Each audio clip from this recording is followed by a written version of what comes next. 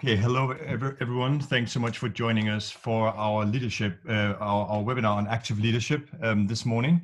We have an amazing set of um, experts and industry representatives uh, speaking about this important topic, which has been made uh, exceptionally uh, important and clearly important to everyone uh, by uh, the month, the challenging months, the months that we've just moved through with COVID-19 and us uh, moving into the co- post COVID 19 um, world and this, the special um, circumstances that that will uh, present to our sector. We have with us this morning um, Jenifer from uh, Basic-Fit, who's also on the board of EuropeActive. We have Miguel from uh, IESE Business School. Um, Alan McFarlane, also uh, from uh, IESE Business School, and he's an executive coach um, working uh, freelance for our sector and many other sectors. Certainly an expert in management. And we have Steve, Steve Scales from um, UK Active, who's also an alumni of the Future Leaders Program, which, um, which has been run uh, by UK Active and IESE Business School, and uh, in which program uh, Miguel and Alan uh, have been teachers for uh, many years. I'm sure you'll see much more about that uh, in, in, in the webinar. Um, in the recent strategy paper that EuropeActive released, we've defined um, leadership skills and management skills for our sector as a very high priority um, for the post-COVID-19 um, world. You can find our strategy paper on uh, europeactive.eu, but we really define um, um, great leadership for our sector as one of the major strategic priorities uh, in the coming years. It's up there with digitalization and uh, aligning our sector with uh, with public health um, and being providers of physical, social, mental well-being. So it's really a high priority of ours. And, and for that reason, we're really excited to have um, our set of experts with us today to speak about leadership for our sector. And, and also um, that we have a partnership with UK Active coming up, which we will say much more about in the coming weeks and, uh, and, and, months in terms of, um, in terms of uh, giving our sector an opportunity to, uh, to really upskill in terms of um, leadership. We'll come back to that. Uh, but without uh, further ado, I'll hand over to um, to Alan. Well, I think we might be going to Miguel. Miguel, sorry, sorry. So uh, we start uh, then. Uh, if I can share screen, Rob. Yeah, you just need to activate it. Okay. Okay, got it. Great.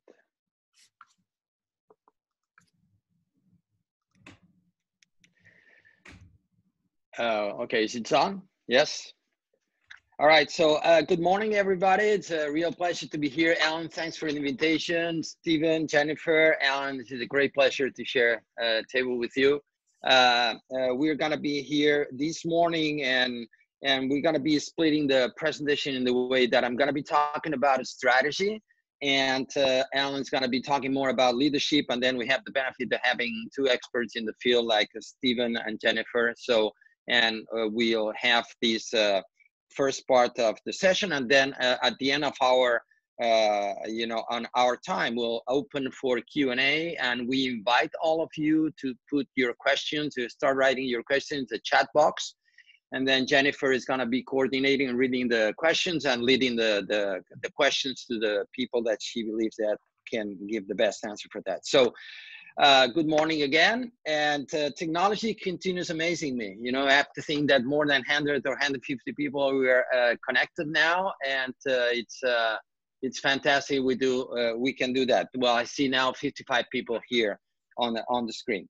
So um, let's start talking about a strategy. So. Um, by the way, you have digital copies of this presentation so you don't need to to take pictures you feel like uh, whatever you feel like but you you have digital copy that will you know the the, the team will pass uh, over you all right so um, as uh, Alan was introducing, I'm a professor at the IESE Business School. We have been having the benefit of having the Future Leaders program there with UK uh, Active. With uh, I have nothing but good memories about it great group of people, very exciting, and people committed to grow the sector and understanding next steps to be taken to be a successful uh, group.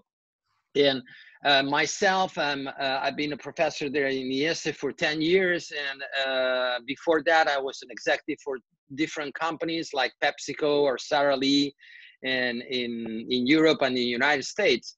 And I remember when I started delivering sessions at IESE and I was trying to, uh, I was uh, imagining a professor at IESE delivering sessions to the banking industry, fitness industry, uh, technology industry, consulting, you name it. And uh, sometimes I, I, was thinking, how come I can dare to, to, to, to, to talk in front of people that they know more about their sector that I do? So how much do I have to know to be uh, to to have the, the, the right to speak in front of them? And then I found this thought from Socrates that I like very much, and I'm sharing it with you. That it's I cannot teach anybody anything. I can only make them think. And then, you know, I found my my cup of tea in a way. Say, yeah, maybe I cannot in that case not so much about your sector, but certainly I can uh, I can make you think. I can we can think together about uh, what we can do for the future. So this session this morning, I invite you to think and to reflect about it. Take notes and and, and think about it because these are you know kind of islands in the middle of the ocean that you know we have from our day-to-day activity and it's a luxury for all of us to have uh, the benefit of having this this uh, certain amount of time to think about it okay so let's go for the session so uh, certainly we're we've been facing or we're facing and depends on the country because i was uh, talking to people in peru and brazil and they're having a hard time over there. People in new york and certainly spain it looks like it's getting better but this morning because of the openings now we have to be more careful. So uh, you've heard in the in the newspapers about uh, people you know allowing to cross some borders but you have to do the quarantine. So have dark clouds certainly but you know my my my my thing is that certainly there's a light at the end of the tunnel and we have to learn a lot about it okay? So certainly we have a lot of uncertainty. It's complex. It's not defined timeline. It's going to last six months three months uh, until the vaccine comes out and it's global. It's something that's happening all over the world at the same time in different you know stages but it's it's going that way. So certainly it's it's something that we are all in that right so it's i think it's the reflection it, it's it's going to be useful for all of us at the same time uh, so I've organized uh, this part of the session with uh, this, uh, what I call the this strategy thought process that, you know, during the, the quarantine, because you, you are more time than expected at home, you start thinking about uh, different things. And I, I, I, in a way, I, I, I put this acronym together, LIFE, because I think it's you know it's what we want to do to go live, and I define that as the key drivers for a new world. And it it talk about leadership, immediacy, future, and digital. And even though the leadership uh, part is going to be uh, uh, touched profoundly by Alan, just let me let me make a couple of pins about that. So let's go for the presentation in my, in my case for this order: the life, the leadership, immediacy, future, and digital. Uh, first of all, you, you, know, this is a picture of New York City, as, as, as you can see, and uh, you know, and I like to have the picture of the city that they're having a hard time, or you know, it's it's getting better, but it's still there. And uh, I spent a couple of years of my life in the in, in New York, so that's why I, I like to to refer to the city that I admire a lot.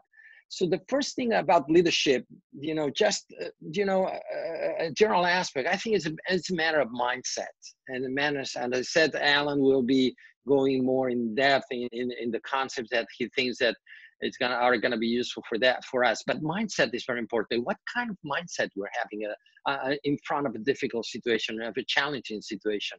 Uh, are we are more problem solvers, or we are, are we are part of the solution, or part of the problem? That's a, that's a decision you know it's a it's a it's a uh, it's a decision we have to make. We want we are more thinking about possibilities or thinking more about limitations. And what i like about uh, you know new york city you can see here the freedom tower is that place where the twin towers were before they were collapsing in 2001 and i would like to share you a, a feeling that i got at that time I was working for a multinational uh, in the United States, and I was flying from Barcelona to where I'm based, uh, currently based, to, to New York. Uh, you know, once uh, once a month. And I remember the, the trip on September 11 was canceled because of the collapse of the Twin Towers, and then I was flying there on October 11, October 11, 2001. So one month later, after the you know the Twin Towers uh, fact And I remember getting into New York City, and these uh, guys, for those that have been there, you know, these tough policemen there waiting for you, not the, the nicest people in the world. And I remember that the, that big guy telling me, thanks for coming back. And I remember that that sense like now. So because we have to think at that time was kind of challenging, what, what was going on with the world, what was going to be going with, uh, with uh, New York City and my my conclusion my reading 10 or so many years almost 20 years later after that is that you know these guys built the freedom tower were able to get back to to business. So this is a kind, kind of mindset i think that we sh- we all should have. You know it's not so much thinking about the past because the life is not about going to the past it's about going forward so i liked this spirit about you know the freedom tower about mindset about rebuilding is not just reopening is rebuilding is doing new things is about uh, a new a smarter model a model for our businesses for our cities for our uh, our countries so mindset is my point about leadership uh, the guy on the left side, you know him. The guy on the right side is, is Alessandro Campagna. He's the He's the uh, coach of the national team of water polo in in Italy, and they made it the the World Cup in the last edition. And I was with him just uh, you can see the date here. It's uh, one year ago, July uh, 2019 in Bologna. And I remember we shared, you know, uh, we were speakers at a conference. And one of the questions that he was asked was uh, uh, Alessandro, when you pick people for your team, what kind of people you you pick? I said, well, I have the benefit of having very good players in Italy, so it's it's challenging. But if I had to choose one characteristic for the guys that have to be in the first team, are the guys that are able to play under uh, under pressure because it's relatively easy to be a you know very good player at the first part on the first games of the championship but it would comes to the five the last five minutes of the final game where you can make it or you cannot make it then you see the difference. I mean those then the abilities you know people get stressed sometimes and they don't don't want to take the responsibility. Crisis get the best from us and sometimes the worst from us so the ability to pick the right people to to support that stress is what i'm now placing to the business part of the world. I mean among your teams among yourself how good are you at uh, supporting the stress of not having uh, you know a clear north or not having you know we have to take the responsibility. It's a great opportunity among your team to pick up those people that really are very good at these last five minutes of the game so I think it's a great opportunity for first to know yourself and to know your people. And you can discover people that you can rely more on because, you know, maybe more things like this will come in the future, but that's life. Life is uncertainty. Business is uncertainty. Nothing is certain. Sometimes the sales go up, sometimes revenues go down. Uh, so it's about it's about reflecting. It's about not just taking the things that happen, is making things happen. So being able to handle the pressure I think it's a great ability for sport people like most of you are, and for business people as most of you are. Um, I like very much this picture, and, and, because uh, the message I want to send here is that you gotta love your business. I mean, we like you. Uh, we, we like you. You know, the, the the the people in the gym or in the fitness or in whatever world you want to be. I mean, I like you. I like my sport. It's like in, in football. I'm a great supporter of Football Club Barcelona, and it's not having the best time in the world, but it will come back. Don't worry, it will come back. But if we talk about Liverpool or any uh, any or Manchester City, any one of these uh, teams are doing uh, very good. I mean, you gotta love the ball. If you don't love the ball, I mean, you don't. I mean, you you don't like you you gotta love what you do, because the ball is a risk and it's an opportunity. You score, you are on top of the world. You fail, you are on the bottom of the world. So I mean, but it's part of life. I mean, this this uncertainty. I know that sometimes it stresses out a lot, has a lot, but it, it's part of the world. But at the bottom, I'm adding here. We like you, but we have to like economics and financials. It's not good enough knowing about the business. We are in business. We have to understand the economics of our business, big or small, and the financials. Financials to fund that while maybe you know the revenues are down because of the current situation and the economics, understanding you know how many costs I have, how many revenues I have, and, and understand that. So it's my message to you that it's very important to very good, be very good and love the business you're in, but we have to be able to manage that. And if we are not good at this, we have to ask for support or to learn. So the learning, when we're talking about life learning, you know, journey, is because of that. You know, we have to get to know things that we love and maybe spontaneously do very good. But at the same time, if we are in business, we are responsible for the people we have. We're responsible for the different costs we're having and understanding the dynamics of business it's very important. So let's not forget about it. I've I've seen very creative people that they need somebody that you know help them to to to understand which things they have to control and to read and to to to to understand as i'm putting here economics and financial. So this idea what uh, you know alan was mentioning about getting involved with uh, training or uh, education it's it's something that we all need. We all need help. Me first and it's okay. We are not here in this world to go by ourselves. So getting support from any, any anywhere we can get it it's it's a good news all right so enough about leadership alan. I'm looking forward to listening to you about leadership. And let's go for immediacy. Of course immediacy there are many things now. We have had you know this uh, confinement situation. And we have the benefit in the world of having companies like mckinsey company and, and many other consulting firms that they share their knowledge with all of us to to give us guidance on what to do. And I like very much this summary they made. In immediacy, it's about first the workforce. How are they doing? Health, you know, we have to protect them. So pay attention to them. Then supply chain depends on the business we are in. Imagine a supermarket chain. We have uh, we have to have suppliers for my fruit and vegetables and meat and so forth, and then getting open for the consumers and make them that it's safe safe for them to come to my stores customers. So in, in terms of your business, understanding the customers now, uh, they were at home, uh, we'll see what happened, different things. Financial stress, understand the financial stress. How much money do I have? And certainly cash is key. Cash is key. The more, the, the more cash I have, the more I can sustain my business for a certain period of time where I'm maybe, maybe my revenues are not going to be that good. If my revenues are low, my costs have to be low so i have to make decisions so decision making under pressure is one of the reasons one of the things we have to do.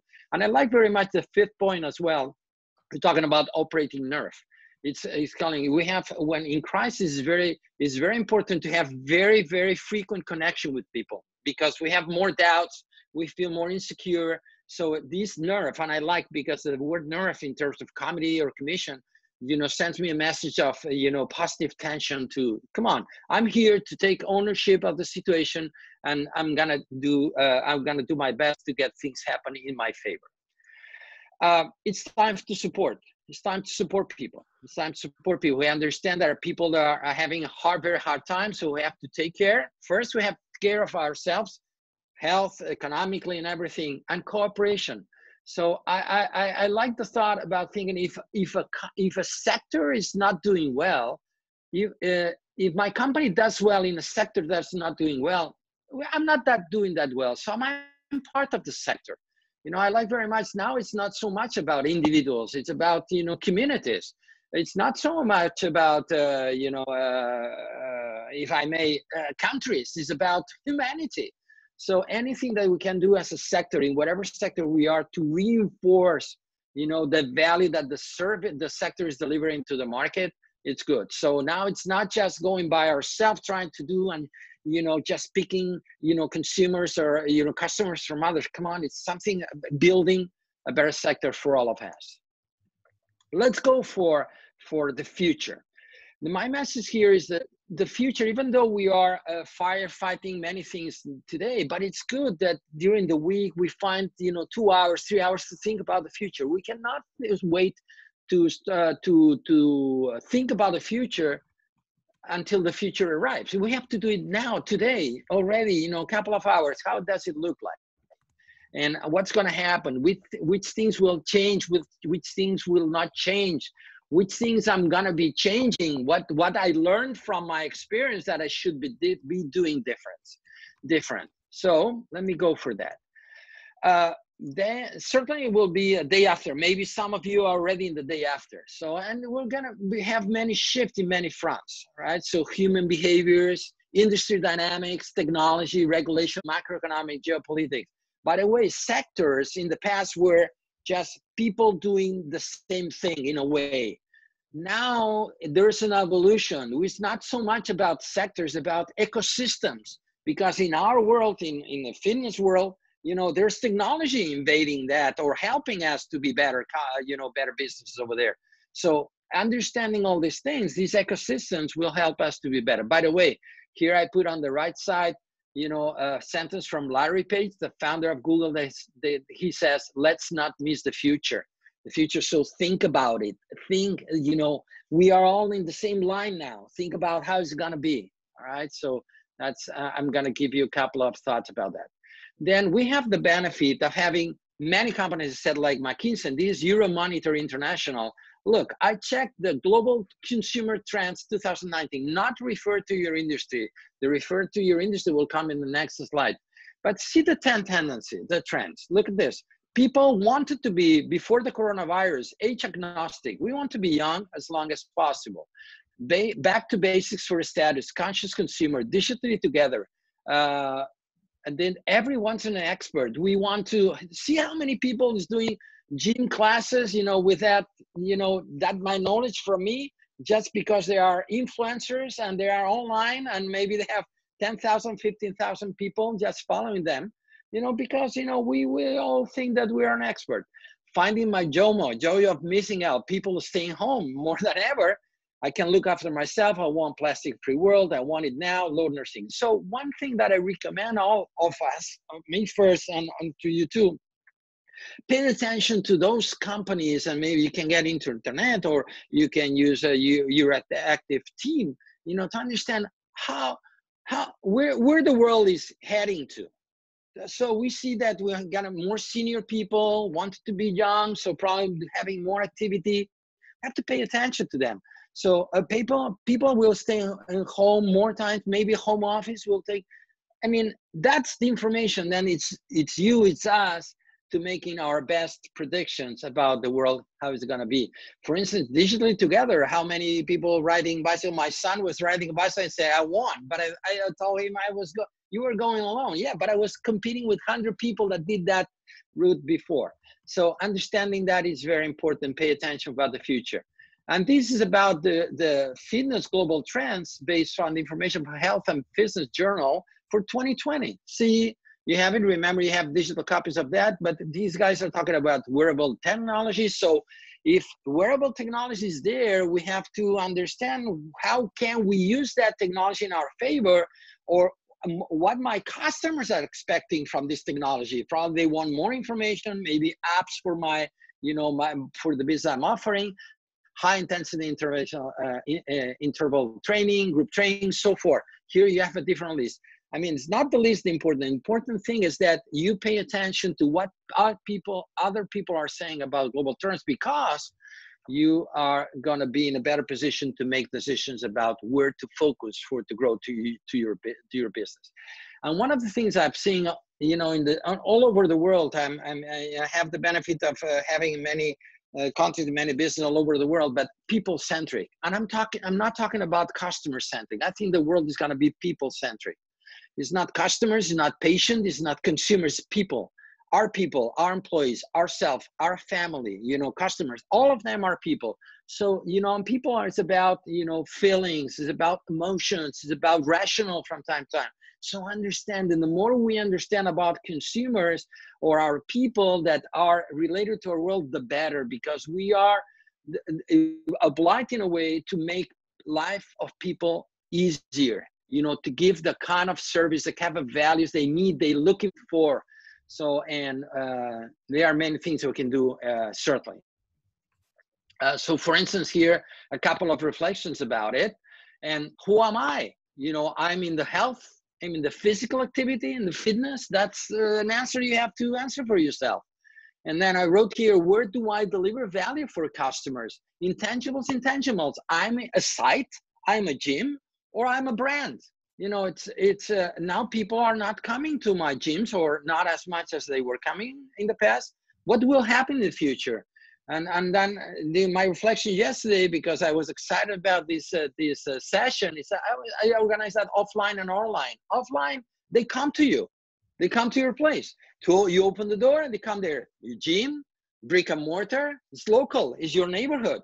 So certainly, and then the kind of trainer you have, for instance, it's you know it's a person that has to face to face, you know, uh, a relationship with uh, the people. But then we go to the online line. It's online is you go to them. It's not them coming to you. Of course, they can come to you if you have an app and so forth. But you know, what's gonna happen with the home? with home? Will people train more from home or will come to the gym? Or maybe from the office or maybe from the schools or maybe global. You may have, you know, uh, you know, train people that are in Australia or are in, in, in Peru or are in Spain because you are a great, great, you know, company there. So maybe the training profile is different. Maybe the training profile for person to person is what uh, on, on, on, on on online is different. The same with professors of business school is not the same doing face-to-face sessions that doing these online sessions. And then I was saying, well, uh, well, what about outdoors? Because I was thinking, well, the gym or home, no, or anywhere. Anywhere is outdoors at the same time. So people, maybe they want to spend more time outdoors and nature and city. I'm, I'm gonna be there. I'm just in a way, let me be a very drastic. I'm gonna be waiting in my gym for people to come and then complain about people not coming come on you can go to the world i mean let's see what we can do with that you know so these these uh, that's why these two questions i put here how, who am i in which fields i want to deliver my my value and where do i deliver value for customers i think it's very important sometimes it's a tangible is the most important thing let me tell you in businesses intangible is the most, most important things because tangibles you can copy i can build a gym tomorrow if i have money but the intangible, the spirit, the emotion, I know it's it's different. And let's go for it. And it's very simple. It's digital. Digital. I mean, let's embrace technology fast. You can be the best sport people in the world, the best trainer, the best fitness center in the world, but we are not going to be nobody if we don't have digital in our world. E-commerce, e-learning, e-coaching, e-games, you know, and then see how you apply e-health so certainly people just don't want to be in good shape. They want to be healthy and they want to uh, uh, play games and you know so you know it's it's very important. We all embrace technology. So i'm sure that we are not at 1% of the level of technology uh, level that we are going to be having in 10 years from now. So the future has come very fast. You know now we are talking here in zoom. You know we never thought that we were going to be like this in three months ago. So future what was going to take in 10 years just took in a few days so let's take advantage of that and let's get in this um, digital and let's learn about that. I have i'm the first one to learn about that. You go for that because they they are providing many companies are providing us with very very good tools just to to to be better for our business so let's go live. Let's go live. Build a better business. I i picked the picture of that lady because we are all with mask. But look at see you we can smile with even with a mask on our face. I mean it, and it's part of our life. I mean we have to be optimists in terms that we have to think and expect and work to have a better world that you know we've been facing all these months and understanding learning you know and and educating for having a better future for all of us. So i invite you to go live Having said that, uh, let me uh, pass the floor to stop sharing here and pass the floor to Alan for to learn from uh, about leadership.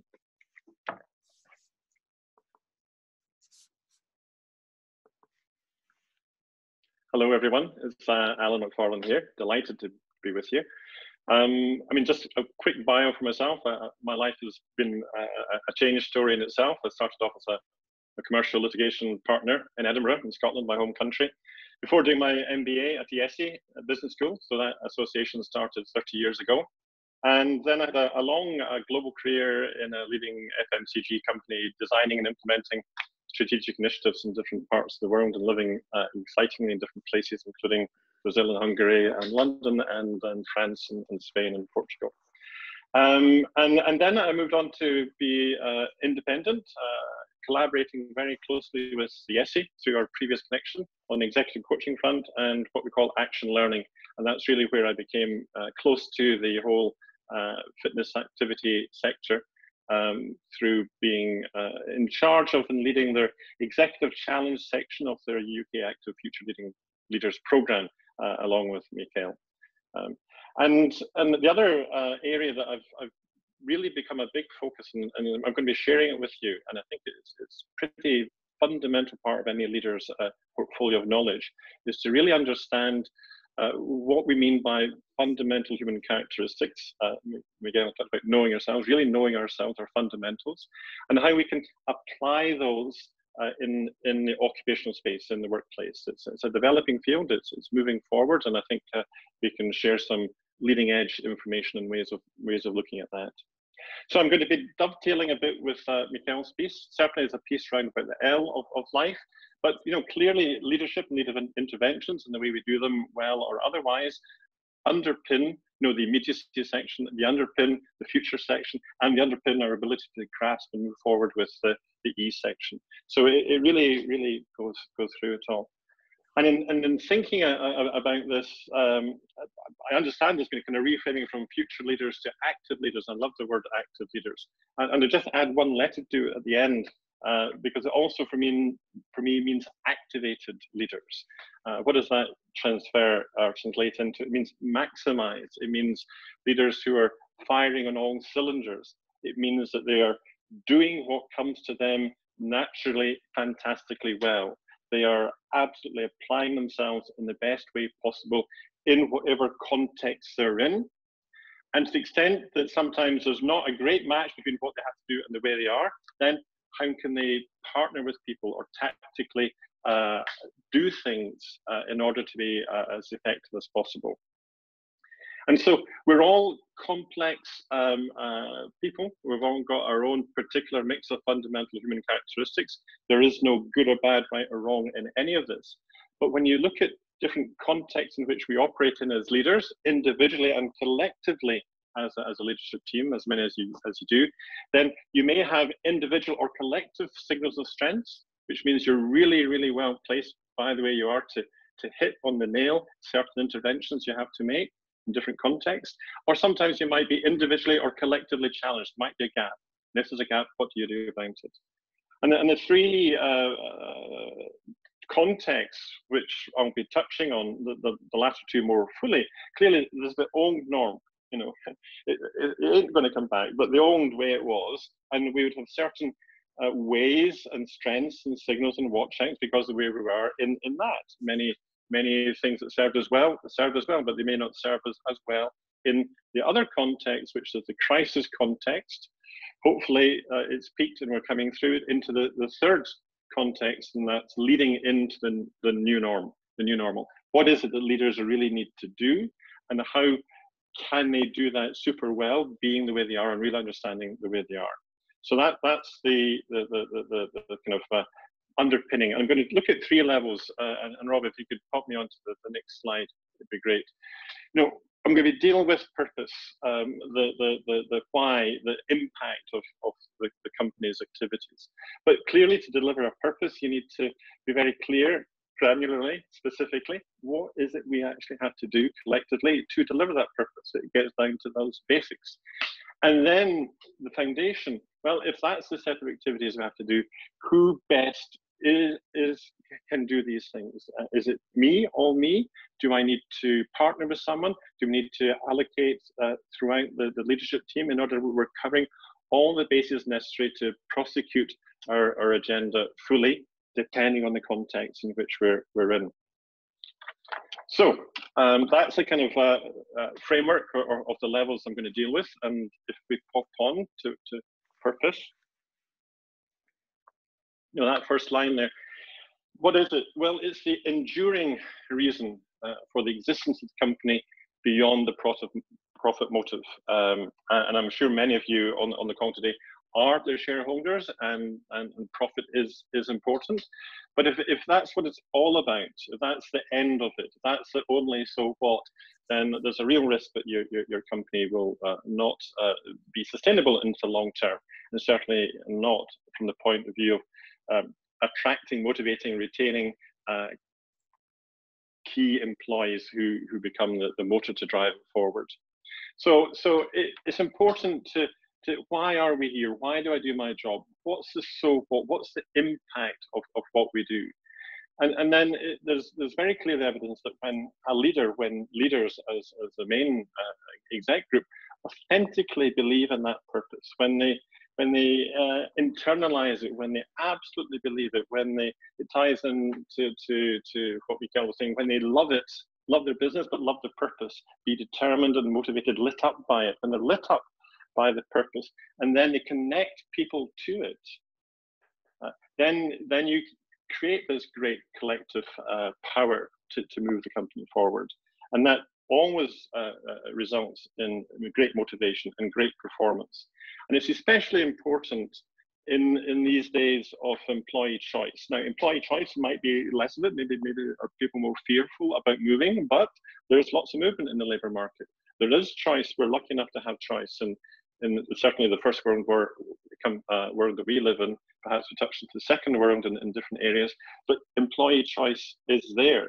And, and therefore to provide them a real purpose, a real meaning, a real reason to, to take, to, to be with us and to put in that discretionary effort is, is, is vital.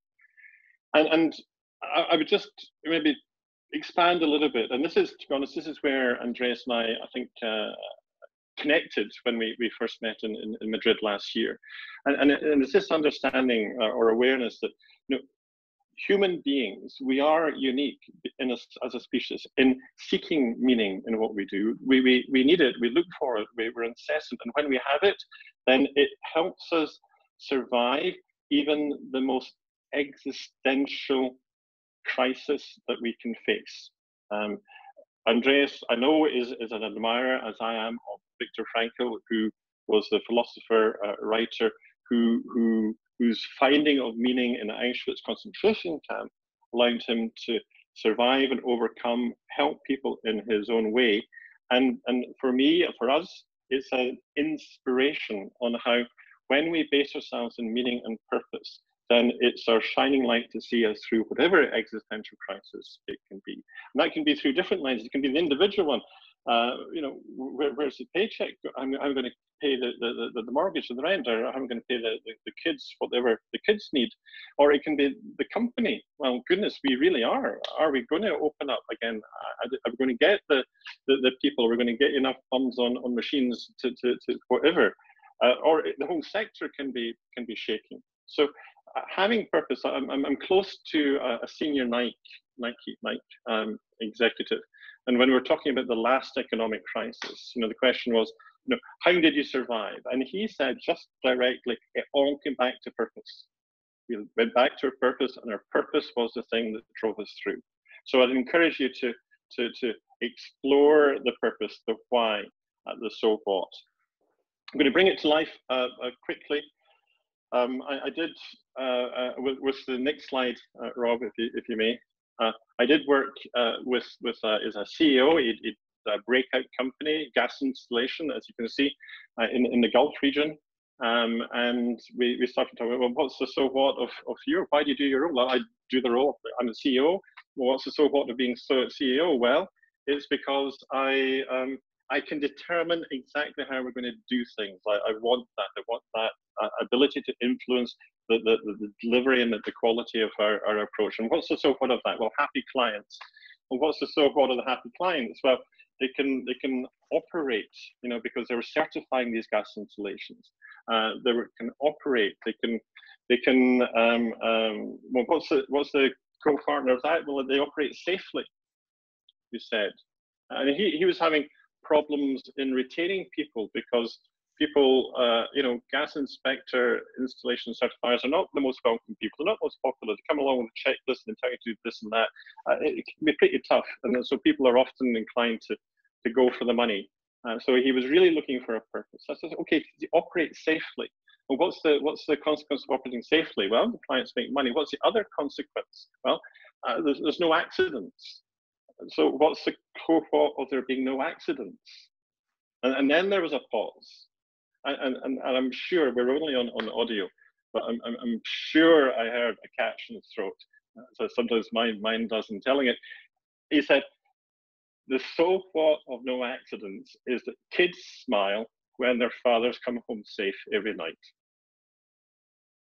That's why uh, we do our job, for kids to smile. And if you pop on the next slide, this is what he took to his workforce. This is the, the beacon, the smile, which uh, allowed the people who were working really hard in accounts payable, when a whole pile up backlog, to keep on going because they knew if they could clear it, perhaps a quick quicker, then it will all help the, the smiles take uh, become reality. And when perhaps their their inspectors got a, a, a gruff, gruff response from someone said, "Oh gosh, do I really have to do that?" Can't you? Then, then it kept them going. Uh, it's all about making kids smile. So that's an example, and I encourage you to go to this so what. Um, you know, looking at the, the strategy paper of Active, you know, there's a mission there. It's a great mission, being the leading voice of uh, fitness and activity in Europe. Then I put the further challenge: what's the so what of that? What flows from being the leading voice? Um, in some of the, the, the, the Be Active Hour piece, there's, there's talk about immunity and community. Uh, you know, those, those words tie together so nicely with, the, the, the, rhythm of it, the rhyming of it. Is there a purpose in there? You know, increasing the resilience of, of the average uh, population and to face the next uh, uh pandemic in better conditions. So I'd leave you with that to, to really explore if you don't have it, uh, explore what your purpose might be, to work through to the chain of the so what, and then you know use it to really connect your people to drive your your your your, your, company, company forward, no matter no matter the threat. So, next slide, please, uh, uh Rob. I'm going to touch on um, crisis um, leadership in crisis. And, and I, I, would frame it all about, and it's very consistent, I think, what Kel was saying, you know, it's all about issue and, and risk management because a crisis is upon you. Uh, there's there's a, a, definition, if you like, a, a significant disruption. Uh, you know, people's frame of reference is, is really shaken. Uh, there's loss of control. There's uncertainty about and fear, and particularly about the duration and will the new world ever return? And will I have any ability to operate and live and make make a living in it? So these these are very very real, and it's all about uh, getting a hold of the situation. Uh, Andreas uh, told me that you know he and Dave, when it first broke from your active, they, then the metaphor was almost the pilots of a plane, and suddenly there's this great electric storm, and it's wobbling, it's shaking, and the sparks, and whatever it is, and there's a, a need withstanding the pressure to, to, to, to, to Michael's point, I need to be the backbone, the, the cam pilot to take this ship, this craft safely through and land it safely. Yeah. And, and so you can see the kind of interventions that are primary. And I'm, I'm sharing this in a point of view, you may still be needing to do these things. You may still have, you may have done them, but it's good to record them because you're going to have to perhaps uh, do them again when the next crisis hits and prepare for it, not be taken as much by surprise. So there's issue, there's fact focus, there's, but there's also a lot of helping employees. There's the emotional care and support, there's the people centricity, which Miquel also talked about, helping through the emotional ups and downs, responding, understanding, legitimizing, not personalizing, uh, any behavioral dysfunctionality that, that might be coming through. You know, the need to, uh, everyone I've heard speaking about leaders in crisis at the moment, I've talked about communicate, communicate, communicate, over communicate, communicate even when there's nothing to communicate, you know, speak out often, so frequency, which I've, I've highlighted there, unequivocally, i.e. tell it as it is, you know, you can't sugarcoat some of this stuff, but in that telling, do it sensitively. Uh, now, to do all that, I'm going to say requires a certain kind of person. To do all that really well requires a, certain kind of personality. We'll come back to that in a minute. Show employees that they are appreciated and things are taken seriously, and build this confidence. Through sharing and doing what you're doing, that you really understand and are controlling, and that already you're alive and looking out for the, the new unknowns that might just go around the corner and could complicate this crisis even more. Yeah. Now, what I would say is that that's a, a broad range. It's a, I would say it's a great range list of things. You, you, you may have more, uh, but it's certainly it's, a core things there. But to do all those things super well, you know, it requires Superman, Superwoman, Rubberman, Rubberwoman. You need to have a whole range of characteristics, a whole range of naturally produced behaviors to do all of it really well. And if you're just knowing yourself, uh, it may be that if you have a fact focus, a really part of your way of being, some people are really fact focused, analytical, objective, and it's great for issue resolution uh, and, and the risk identification, especially if you have a vigilance energy around about vigilance. Uh, it, it, may be, that, but we're also looking for people who really are deeply caring and empathetic and provide the care and support for other people. And, and those are other aspects. And not everyone has both. Some are lucky enough to be able to stretch, but most people are preference one way or the other. And just being aware of it and knowing where you can lever your strength or where you might want to pull in some partnership or dial yourself up uh, would, would be interesting. We'll, we'll press on uh, with the next one, Rob. Thanks very much. So the new normal leadership, and hopefully, and, and I think what sounds as if everyone in the sector, probably on the call, is moving, beginning to, to come out. And I'd characterize it by uh, looking at emerging opportunities and how to take advantage of those. But you know, they'd have to, to be explored, they need to be identified, they need to be assessed, they prioritized, and then exploited fully. And so there's a perhaps a, a, shift in the in the focus of the interventions now. You might be dealing with both contexts, one foot in one foot in the, the new norming. You know, what are the trends? How do you explore? How are you open to? How are you encouraging uh, the, the exploration, the conversation, the agenda points, uh, uh, to, to look at the trends, to, to see where the, the, the paradigm shifts may, may, be, may be taking place. Uh, you know, now this paradigm shift, it may be in a sense from this, this fitness to, to, to social and, and mental well-being. It, it may be a, a, shift from you know the, the, the, sport coaching paradigm to the partnering with public health authorities. It may be the, the, the, the digitalization is, is really uh, taking off. Whatever the paradigm shift is, what are they and how open are we as leaders to embrace and encourage our people? You may have some, you may have some exec teams even are together collectively relatively conservative, relatively focused on on the efficiency the routine, keeping the well-oiled machine going. Well, actually, if no one's coming in to sit, use the well-oiled machine, then maybe they're at a disadvantage from fully grasping the, the future. Um, and and uh, you know, Jenifer, just before we, we started, was talking about uh, this is listening to the voice of customer. You know, there's, there's an issue potentially here uh, in, in, her experience, emerging experience of, of men beginning come back in, in greater numbers to the, the, the gym space than, than, than, females. So what's all that about? Um, what can, I'm sure Jenifer and her team are doing it, really listening to the voice of those female consumers, female customers, understand why is it not coming back and what can be, what can be done about it. So a whole bunch of stuff, um, which is uh, exploration and uh, establishing new contacts and maybe new trends, new expectations from society about health and uh, pollution and traceability and sustainability as, as we've touched on. Now, I'm going to just move on now, Rob, and, and talk a little bit about what we mean, what's all this about human characteristics and the importance of understanding them. Uh, for the last 10 years, I've been using um, the, the, big five factors uh, of, of, human personality, and in particular, a, a, model and assessment tool called B5 Plus. Uh, it's from Norway Human Contact. The CEO is, is also an IESE alumni, so there's, there's a connection there. Uh, but this is a, a, scientific, reliable, and very valid way of understanding who we are.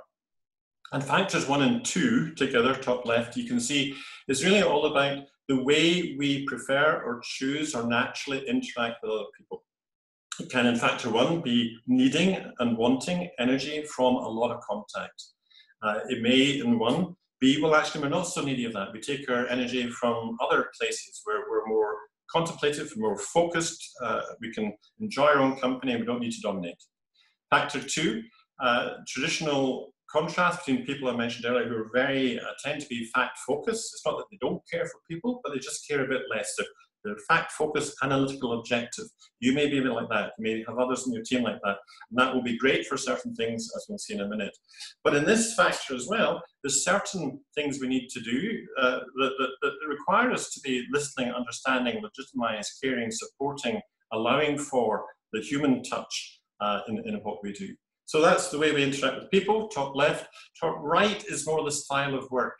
You know, personally, do I put energy, do I naturally go towards wanting planfulness, rigor, systemization, control? There's lots of stuff that benefit from that. Or am I more flexible, more able to change plan, less tied to things, can live with chaos, can live with ambiguity, can live with unexpected a bit better, and in fact push the norms and be a bit more explorative coupled with a greater, you know, factor five is all about really bubbling with ideas, really open to, really curiosity, really embracing of, of, of new norm possibilities. Or sometimes, you know, people are just naturally more conservative, more state quo. If they're going to change, it's a bit of a battle, need to be persuaded by real evidence. And underpinning all this, uh, we've got emotional energy. You know, the amount of which to which uh, emotions come from us, flow from us. It could be positive passion and enthusiasm, it could be frustration and, and impatience, it could be sudden flare-ups, or it could be a little bit much more calm, uh, distant, relaxed, harder to provoke. Uh, actually, right in factor four um, helps people generally in crisis in terms of keeping calm head and inspiring others. The pilot with the shuddering joystick to get the, the, the, the craft down in, in one place. I'm going to try and, and bring it to life uh, through some examples in, in the crisis context and then the new norm context if we, pop on Rob. So I'm just going to illustrate here some crisis interventions. We talked about over communicating. Look, if you are as a leader or you have someone in your leadership team who is on their right in factor one, who really enjoys being out there, visible, talking a lot, interacting without fail, without assessing, without being tired by it, then that kind of human characteristic will really be a signal of strength when it comes to over communicating in times of crisis. If you happen to be, and you may well be, someone who isn't naturally like that, but much more on, on the left there, then you might have to dial up. You might have to partner with someone. You know, might get help. But through being aware of it, you can uh, um, acknowledge yourself, first of all, then embrace, and that's good, and then exploit the way you are. But if there is a gap, then find, find a, a, an option. If you look at factor two here. You know, people on the left, situation analysis and risk identification, which we said is key, is greatly helped by fact orientation, analysis, and objectivity. But you know, at the same time, you've got to look out for, in the same factor, care and support of people, legitimize, understanding, people centricity, relationship building, alliance building. All that is greatly helped by being right in factor two. Where are you is worth the contemplation, it's worth the, the investigation, it's worth the analysis, then to understand how you can use your signal strength or uh, compensate for them. There, factor four, backbone cam pilot, that's where um, Andreas, that's my sense of him from my interactions with him, and, and uh, more limited interactions with Dave, but I'm sure they were probably helped by having a, a disposition, a natural being, being left in factor four. Some of you, as leaders, may, may be left in factor four, full of enthusiasm, energy, engaging people much more. Well, you, you, you, you recognize who you are and play accordingly. And, and if I go to the next one, Andreas, and we're coming to the close, the new normal interventions.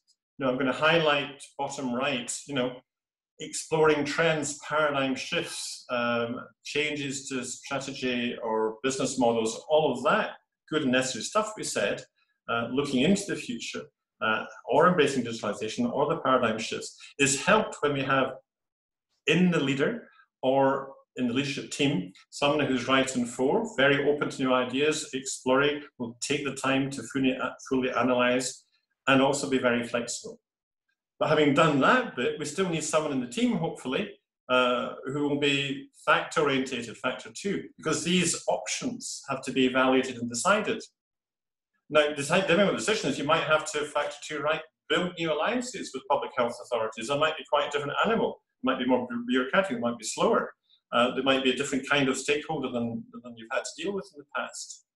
And, and far from being calm, which is still necessary, you might be served by deploying and activating people in your team who really have the energy to, to enthuse employees because you know we're coming up a long tunnel. We've got to get people excited about the light and emerging into the light and to operate.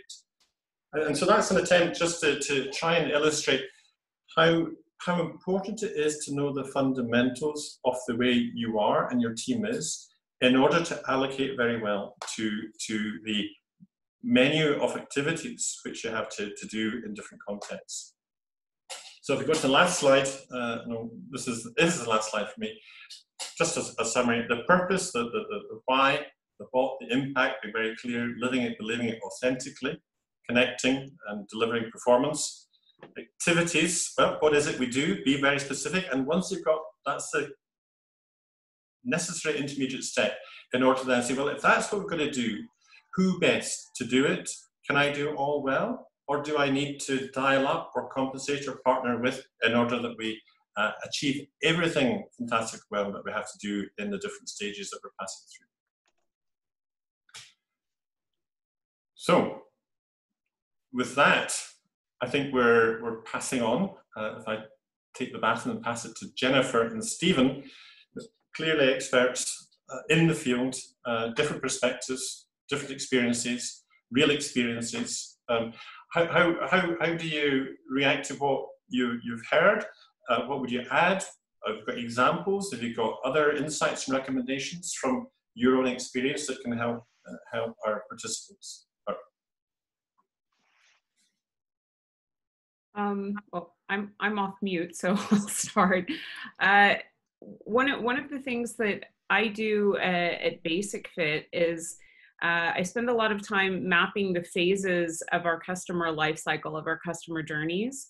Um, and one of the first things that uh, that I needed to do for for my own head at the beginning of the the crisis was to really understand what the what the phases of the of the crisis journey um, would be, and because uh, we, we're we're really searching right now that we we've been able to open our, all of our clubs up to, to for the opportunity to go back to what was normal to us. But I think that that that normal is a little bit of a myth and it, it may never come back. But it, it's something that our that our company is really searching for. Um, but i think it's just it, it, the change has been so constant and everybody has been so uncomfortable in that change and that yucky change phase for so long that there, there's this myth of normal where everything will go back to kind of our automatic pilot but i don't think that that will ever be. Uh, one of the things that uh, basic-fit i think did really did really well in the in the moment of crisis when we when we knew things had to radically change is there was a crisis management team that was made up of, uh, of our senior managers, operational managers, and executive uh, board um, that really started steering the whole company on a on a daily basis. Um, we were uh, we had launched uh, as an organization Microsoft Teams and Zoom uh, with a very moderate level of adoption. Um, in January, but all of a sudden we went to 100% adoption and, and everyone started really, really maximizing those channels. Um, our CEO, René Moos, had weekly calls with, uh, with the, the management team to make sure that everybody was informed. And, um, and I think like when I, when I look at it, the, the, the, the strength of, of leadership that, that got us through the, the crisis as successfully as we were we were able to get through it was the hyper communication that was really um, set forth by the company I, I can continue talking but i want to give steven a chance to Thanks, Jenifer, and thanks, Alan and Miquel as well. It's it's very rare that I'm on a panel and I've made five pages of my own notes um, coming back from that, I suppose. But to take a, a few reflections and, and learnings from previously is that from a ukactive perspective, is we were in a fortunate position. This carries on from Dave and Stephen in turn of the team, the team that we've built, and how we evolve it um, based on values. And Miquel mentioned around um, loving the industry that you work in. And, and, the way that I describe it is, I suppose, three areas ability, attitude, and how that application um, is provided. Because at the times of crisis, is that, and especially working remotely, um, I'm the only person currently in our office other than our finance director who's watching me at the moment, um, is ensuring that we as an executive team and in turn the wider teams in the business, we have to be able to trust um, the members of our organization to, to hold the ball and, and to pass the ball and, and have that level of um, autonomy. Because fundamentally, uh, as, as an organization, our job is to provide member value as a purpose. It's to improve the health of the nation, which is ever more important now. But that's underpinned by a fertile climate for growth. And in order to do that, we need a strong team of people that can listen, that can ask questions, that can challenge how we work to get through it. Um, and from a strategic perspective, is is and to Alan's point around crisis management is one way that was going to and will continue to differentiate our sector potentially from others because everyone is in a similar situation. Businesses have been closed, revenues have dropped. What sets our sector apart? And it's the purpose is that the majority of people work in our sector to improve people's lives first and foremost. And capturing that under a united voice, which was task number one, is bring the sector together. Forget competition for now, as this is about ensuring that the sector has a foundation to grow from. And then, as, as an organisation, and, and the, the first thing is we're relatively happy with where it is, but there's always areas of, of, of improvement moving forward and, and, and, learning is, is communication through the sector, is asking questions. What are the real challenges? And at the, at the very, very beginning, we produced a strategy that was, that was four points, uh, and we ensured that we continued that rhythm, and we will continue that rhythm through the crisis, looking at operations, how our business is going to be able to adapt, how can we prepare um, the businesses, how can we research, how can we learn from where the market began to um, essentially depreciate, um, and what is it going to potentially look like on the other side, and that's also learning from from other other countries. Um, how can we use that united voice to work with government to have that cut through to make sure that um, we have the support but at the same time and again it's, it's, it's, work that is ongoing at the moment so that we can open in, in the uk and then finally and i think this this with that improving the health of the nation um, how do we instill consumer confidence regardless of whether that's digital or physical is that we are a, a people business and we need to make people feel a um, interested in improving their health but be comfortable in whether it's the buildings or the services that we offer that we are going to be able to do that so um, i suppose they're the main reflections that i took and I suppose to round all that off is that there were some of the ideas that I'd written down pre-speaking that I've, I've, remembered that it was Miguel that said it three years ago as well. So I thought they were my ideas, but they're yours, Miguel. So congratulations for that. It stuck. Jenifer, you said you had some, uh, thanks, Steve. Other, other points? You'd like to share those? Um, yeah, I think um, like there's so much information. I'm just like so many things I want to say. Uh, I, I, think that um, one of one of the one of the things that uh, I, have really been able to uh, learn over the crisis is because we took the we took the uh, extra step of uh, integrating a Corona sentiment questionnaire uh, as as part of our member reactivation campaign. Um, and the the the answers that we're getting from our customers right now uh, about uh, what they want and what they expect uh, from their from their gym or from us as their gym is is really really interesting and uh, you know i think we have a lot of assumptions about what people have done over um, over the over the crisis period but the members who are answering our our uh, survey on this are, are saying that 70% of them have been significantly less active over the lockdown. And most of us feel that that's the case, but actually seeing that as a as a, a, statistic, I think is is pretty powerful. And I think one of the things, particularly um, as as the fitness sector, and I really see that the fitness sector has united over this over this crisis, and I, I am so um, I'm so grateful for all of the all of the information sharing and all of the learnings that have that have happened through that synergy. But I think that the the t- the takeaway for fitness is that we we have to remember that um, you, you know when if you go to the if you go to the perspective of the member who has uh, backslid a little bit on on progress and and really wants to start again.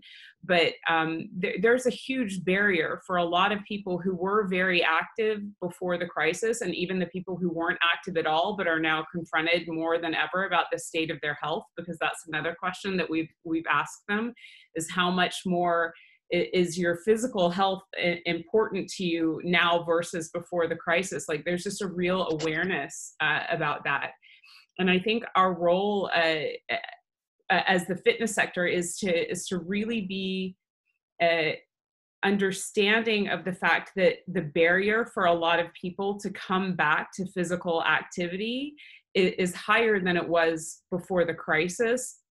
And at the same time compounding that there's an urgency within these people that knows that it's important so I feel like we really need to again come together and, and make that uh, barrier disappear for people to, to become active again, to, to make it uh, gentle and easy and uh, uh create um, a success uh, feeling for people to, to start again rather than the confrontation of they were active but now they're not again because it's more important than ever to to do what you can to take it, the the positive aspects of your health into your own hands.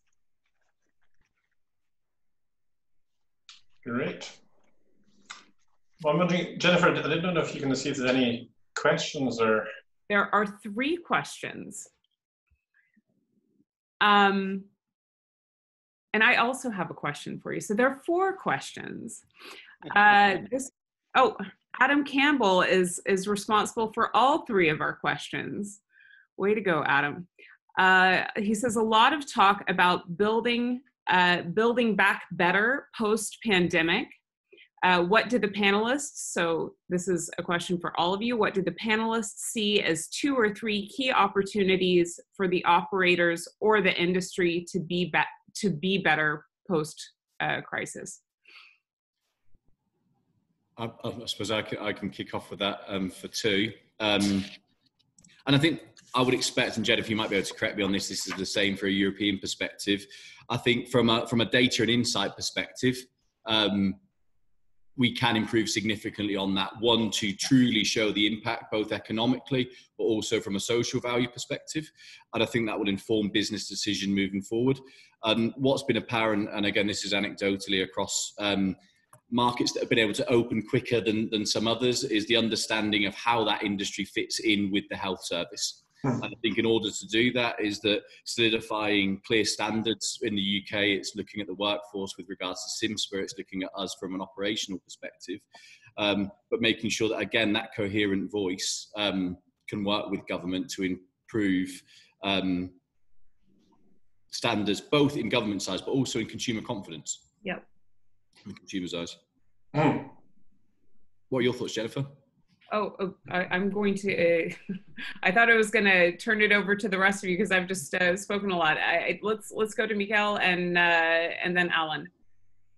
Um, uh, good. Thank you, Jenifer. Uh, I think that uh, uh, to to to your question, Adam, is um, I think it's uh, data data it's uh, very important. I mean data. So that's why i was making them put an emphasis on the digital. It's about going to your customer instead of the customer coming to you. So it's like you don't wait for the boat come to the harbor. You have to swim to the boat. So you have to go to their places to the anywhere to the outdoors? So data. And i think it's a, it's a accumulate data about your hmm. your i think about the during this crisis there are restaurants here in spain that even though they were closed locked down i mean they were doing a, a reasonable amount of business because they knew their customers. How many customers go into restaurants and they just know the person if they pay attention to the person who's paying but nothing about the person the, the other people that are around the table. And we're missing lots of opportunities. So data, data, data, and get to know your customer, as Jenifer was saying. And then based on what uh, Alan shared with all of you, I think it's leading yourself, leading yourself first, and then lead the team and lead the business. That was a, a CEO of Novartis. You know, that's a very a big pharma company that's saying lead yourself first, lead your team, and then lead the business. So, I mean, we are the most difficult, challenging people to to person to lead. You know, think about it. When we are good with ourselves, and it's easy to lead a team. You know, but if not, how are we going to be leading somebody? We are not able to lead ourselves. So that's uh, that that would be something that you know I I, I came reinforced uh, uh, about during this uh, pandemic thing and and certainly you know the purpose that you know uh, Alan was talking about is I think it's a very strong concept to work on.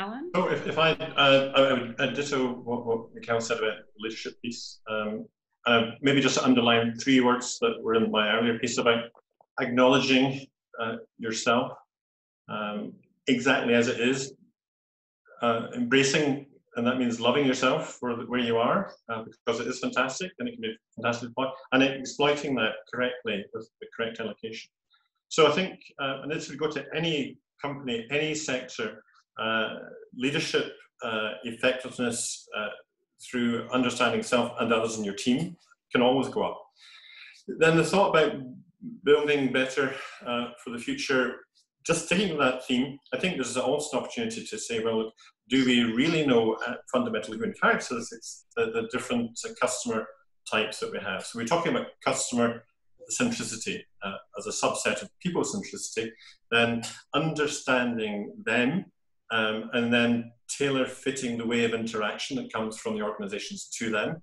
whether uh, you know that be um, uh, one-to-one virtual or one to small group virtual or a certain group of friends virtual or when people do come back in, into the clubs.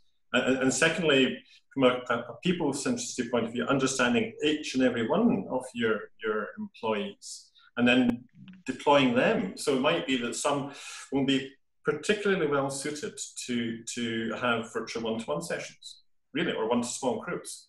Uh, others will be perhaps more suited and better suited to, if you get back to the large spinning classics uh, with, with, multiple people in, in, the room to do the, the, the motivational rah-rah piece. Uh, uh, and, and, I can imagine exactly where they're served by Factor One Right. But the, the second, the first one I talked about there, uh, really uh, more people-related understanding, caring, empathetic, small small group interaction would be great. So I'd, I'd suggest that as a taking that knowledge of fundamental human characteristics throughout your entire organization and customer base. Thank you very much. I, I in in getting inspired from your answers, I, I have uh, two additions. One is from Miquel's presentation. I think we should stop saying the word customer and start saying the word people. Customer seems so distant. It's like uh, talking about others rather than talking about us. I, I, think we need to to bring it closer because in the end it's all about people people people uh, all the way around uh, and mm-hmm. one of the things that we did um, I, at the end of last year uh, in, in my team I, I work uh, with a multidisciplinary team of people that I borrow from other departments and we got uh, training on the agile way of working. And one of the things that I loved in the discipline of that system is at the end of every project, you you have you do a retrospective. So it's just a reflection on what went well, what were the challenges, what can we bring forward. I really think we need to have as a as a sector a retrospective on on the crisis because I think there's a lot of things that we can uh, apply and move forward to help us to progress for the future. Um, second question from Adam Campbell. We have seen significant shift away from heroic leadership. So I think let's start with Alan for the uh, for this uh, question. Uh, heroic leadership towards servant leadership what personal challenges does Alan see experienced leaders having to overcome and lead in a new, more comp- compassionate way? Well, um, it's all slightly subject to interpretation of uh, what is meant by heroic leadership. If I, if, if I take an interpretation, I would say that people who typically present that way will have a, a certain combination of fundamental human characteristics. So they will typically, just by nature, be naturally quite outgoing, naturally quite uh, dominant, naturally quite wanting to take the lead and, and promote. And usually there's a, there's a high level of fact, fact focus and, and rationality. There can be a, a, a mixture of, uh, let's say, energy round about it and the, the calm steadiness, so the, the heroic figure, you know, the, the sword kind of thing. So if, if that is your fundamental characteristic makeup, it's no surprising then you might therefore present and act as what we can loosely call heroic. So, so it's, it's a challenge then for, for some of that fundamental characteristics to move into servant or maybe differently put in service of. Uh, so in service of uh, would be helped by someone who, who would be genuinely um, uh, listening, uh, considerate, caring, uh, wanting to make sure people are well and well looked after, and therefore the service mentality attitude comes comes naturally to them. There's there's a high level of, of collaboration there. Uh, service also usually implies a concession and compromise and, and maintaining uh, a, a, social harmony that, that somehow is, is there. So you're you're putting others first, and putting others first is is, is helped by you know, using language factor two right. Um, now, if, if the person has the traits that lead them more into the heroic thing, then they've got some self-reflection to do. Um, is it possible with the awareness to say, okay, with that awareness, can I consciously dial, dial it up? Can I consciously dial down and do more of? Or do I need to partner with someone who can uh, help me do it effectively? Uh, or, or maybe I delegate some of it to the extent it could be delegated. So it's really just the, the question is knowing who I am and knowing what the need is and the developing need is. Uh, am I going to help myself or hinder myself? And to the extent of hinder, what can I do about it tactically? Uh, there may be other aspects of your personality you can call up that can help.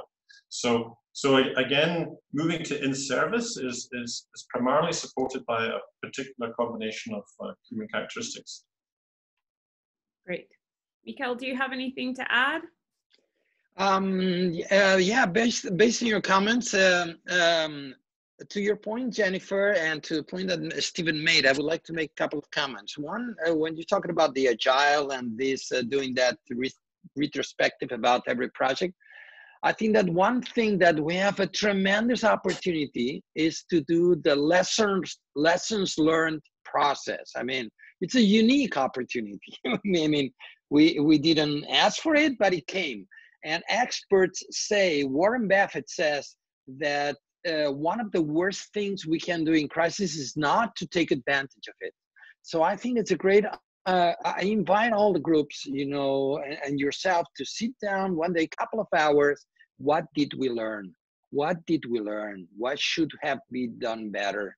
And what we're gonna be doing from that. But this learning, it, we, I think that we have. Uh, we have been participating in the uh, in the most intense global uh, education program in the world you know for these three months. And maybe some of us we're still there. So it's learning. I mean it's reflecting. Stop and doing that retrospective i think it's a great asset we have. So thanks uh, jenifer for mentioning that. Then another point that jenifer made was about the ceo meeting very frequently with people. In crisis we need to talk very often when it's a you know peaceful time and we we can see each other maybe once a week but now crisis it's i mean it's like we've been training to do the game this game good. So all we've done in the past been training basketball but now it's the final. So you know this uh, uh, talk to your people more and more frequent and because uh, we need to be connected very much. And then the point about uh, steven scales made a, a point about that I, I could not agree more. It's not about share builder. It's not about stealing customers or people from others. It's about category builder. I mean, we have an opportunity to make people more active. You know, yeah, using the, the word that you're using in your logo. So let's go for that. I mean, let's let's go be a category builder. And as i said let's talk about the company and let's talk about the sector. Let's talk about the country. Let's talk about the world. We have here the power as uh, you know uh, of influencing you know many people you know to be more healthy and more active. So let's go all together for that purpose. Thank you. I've got I've got the last question from Adam. I'm going to direct it uh, at Steven. Um, what has uh, EuropeActive and in this case ukactive learned through the crisis about the needs of its customers? Uh, I suppose I can answer it in, in two ways, really. I suppose customers is in our members. Um, yeah. And I wouldn't oh, say oh, sorry, people. People. people. Um, absolutely. Meant, meant to know. Um, I, I suppose it's reinforcing a value that we've had a lot of the time is that it's a, it's a line that I use an awful lot is that ukactive isn't the employees of ukactive, it's a member organisation. Um, so throughout this process is I think it's people learning that we are all together. Um, so and we have the ability that through being open and honest and sharing successes as well as sharing some real sensitive challenges, we can really progress the agenda. Um, and I think historically, in pockets, we've probably done that. However, I think that lies the potential for the future that if we can continue this level of um, coherence and trust in, in, in, in the sector, I think we can really begin to, to build on that. And that's certainly the case from a from ukactive um, perspective is that we are one in the same. And the bigger that we collectively get, the more that people, not customers, um, will um, respond to being active. Yeah, great. Thank you very much. Uh, Andreas, do you have anything to add from uh, the Europe, EuropeActive perspective? Yeah, I would like to. Um, should, should I perhaps wrap wrap up afterwards, uh, Jenifer, just to uh, yeah. after after answering this question? Okay, great. Just being mindful of the of the time. Um, just picking up on what what Steve said. Um, when COVID nineteen happened, the first thing we did at EuropeActive was to was to reach out to all of our different stakeholder groups and create um, online roundtables and consult the industry across stakeholder groups.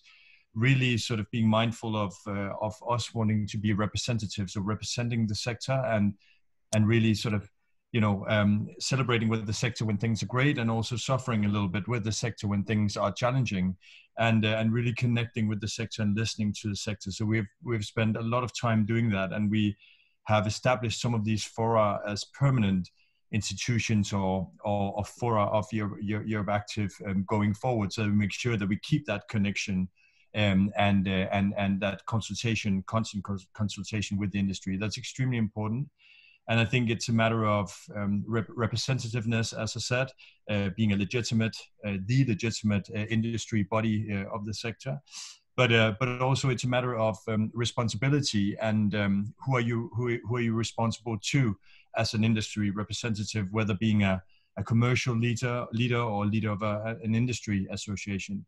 And um, I was very happy that that Alan uh, spoke about Viktor Frankl that we uh, geeked around about in in Madrid last uh, fall because I would say, from for me personally, the most important leadership book that there is, and I know this is a bit controversial, but but that's Viktor Frankl's uh, Man's Search for Meaning, because uh, fundamentally, life privately and uh, professionally is, I believe, a matter of, of of meeting meaning and finding that meaningful journey in life, professionally and and privately. And uh, Viktor Frankl, Frankl specifically says that that meaning comes from responsibility, feeling responsible for something. And the, the very word of, of, of responsibility, of course, means response that you can respond meaningfully to why you did as you did you know? So so fundamentally a, a, question of mindfulness and being being mindful of why you you made the different different decisions that you did. And in order to do that of course you need to think and be aware and be mindful. So take good decisions and and think critically before you execute. Um, and and I think for for EuropeActive uh, and for Dave's and my leadership uh, uh, going through this crisis with the EuropeActive team, uh, who I'm so grateful for the the, the commitment and and uh, and and being on this common journey with us, including the EuropeActive board, of course. But you know, it, it, has been very much about creating the common journey, creating that narrative that will keep us afloat and flying through this uh, thunderstorm, and and that has been very much about what what our primary purpose as an as a, as a sector association, what that is, and of course, uh, more than anything, that's about representing the sector but also if, you, if we look at the end user, it's about empowering uh, communities and uh, empowering city, citizens across Europe through physical, mental, and social um, well-being. Um, that's actually um, a bit of a that is you know in, um, some of the, the thinking of, of your of ukactive's former uh, CEO Steven Ward has inspired us in that that regard. He spoke a lot about or he speaks a lot about creating happier, healthier communities and and you know um, thinking about our sector's wider responsibility to create happier, healthier, healthier communities. And we have we've um, we've been been inspired at EuropeActive quite a lot in that regard. Um, speaking about wanting to empower uh, communities for, through physical, social, and, and, and mental well-being, and that creates creates a sense of responsibility and purpose that has been very strong um, and, and, very important for us uh, while um, moving and working through this uh, crisis over the past couple of months. Um, so with that, I would just like to say that, as I said in the beginning, uh, we're working with, with ukactive to, uh, to create um, a future leadership program in collaboration with IESE Business School and um, some of the experts that you've met on, on this panel. And, and we'll come, up, come back with much more uh, information about that as, uh, as, uh, as, we, as the different details will be, um, will be uh, ready for, um, for, um, for, to be published. Um, just a few words about our coming uh, Back to webinars. Uh, we have a very um, interesting webinar tomorrow about um, effective uh, programming for personal trainers. It will be led by Julian Berryman and some of his um, experts from across uh, the European industry. And, uh, and next Wednesday, we have a webinar on medical fitness and exercise is medicine, how we, um, how we um, as an industry become that uh, essential provider of physical, social, mental, mental well-being, and how we collaborate with uh, public and private healthcare. Though that's on Wednesday, uh, the 8th of July.